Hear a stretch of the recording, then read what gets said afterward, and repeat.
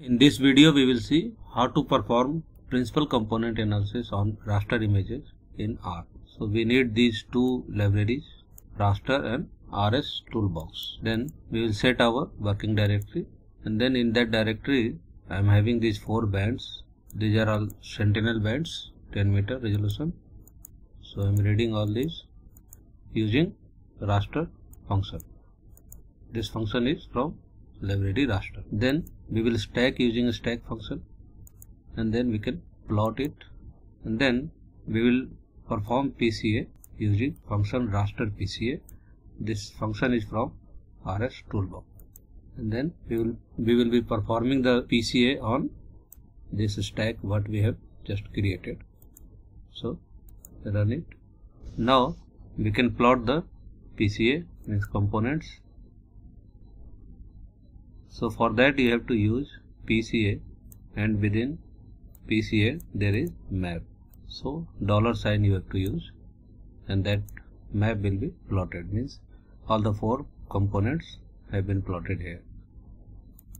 You can go for the statistics of this PCA using same dollar and model and using the function summary. So you can run it. Here you will find the proportion of variance explained. So the first principal component explains 73% then second almost 26% and rest is less than 1% so the cumulative proportion you can see 99% is explained by component 1 and 2 we can also see the loadings. So in component 1 band 8 is having maximum loading in component 2 band 4 is having maximum loading and in component 3 band 3 and similarly in band 4 in the component 4 now we can plot the RGB of this PCA by default it will be taking sequence of PC1 PC2 and PC3 in RGB so plot RGB PCA and dollar map and then stretch you have to use either linear or hist histogram. So this is the FCC or PCA. Suppose you want 2, 4 and 3 in FCC. So just you have to define it as comma separated.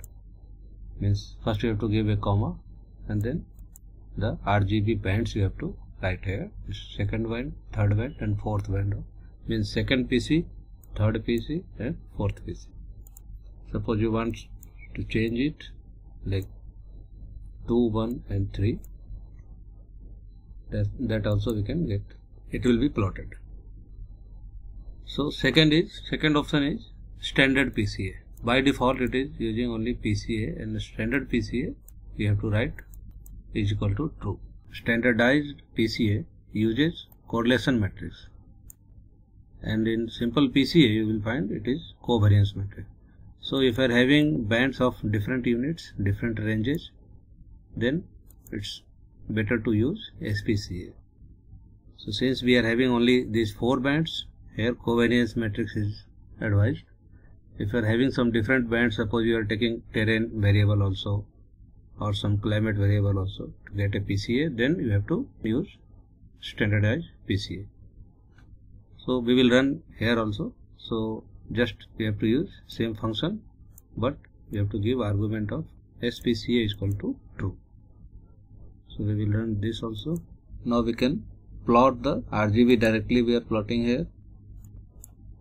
So this is the standardized PCA we can also see the summary of this standardized PCA so proportion of variance explained is 77% and 20% again.